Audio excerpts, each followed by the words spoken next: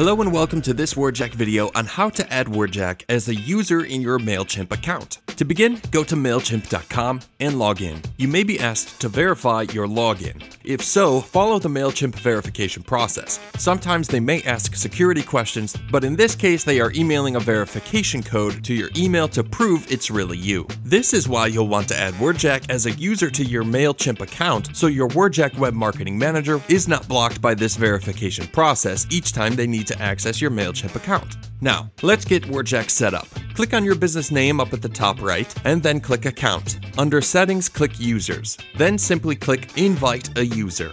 And this is where you'll enter the email address your WordJack Marketing Manager has provided to you. Below, you may or may not see as many options as shown here, so if you have the option, select Manager. If Manager is not available, then Admin will work just fine. We'll skip the Add a Message option and click Send Invite. And now you'll see that your invite is pending, and once once received by your WordJack marketing manager, we'll take it from there. Thanks for watching. If you have any questions, please don't hesitate to contact your WordJack web marketing manager.